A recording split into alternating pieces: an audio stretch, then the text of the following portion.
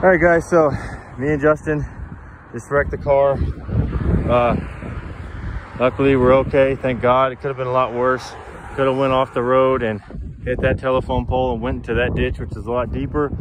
As you can see, this is a two-lane street. Uh, could have hit somebody coming that way. Sorry for the wind. I wasn't prepared for this. Uh, as you can see, we kind of plowed the field. Um, almost hit that stop sign right there barely missed it, thank God. Could have came through the windshield or something. That would have been bad.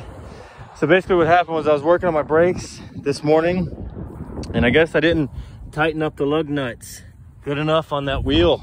And I'm going down the road right here about 40 miles an hour, maybe a little more, I don't know. And the wheel just, the wheel just shoots off and goes across the road.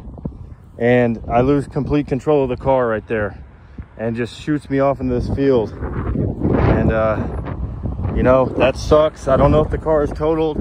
I dug a lot of the dirt out. It was all the way up in here and everything. And as you can see, it's still plowed into the ground. We had a, tow truck driver come and look at it. He said I totaled the car. Um, I disagree, but he couldn't get me out. You know, Justin was freaking out.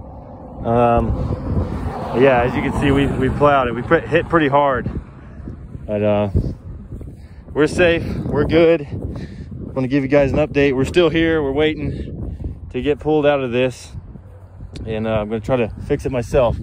So, uh,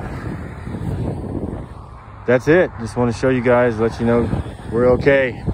Thank God. I'm not upset. I'm not mad. I'm just thankful that it, you know, like I said, house is right there, two lane traffic could have been a lot worse.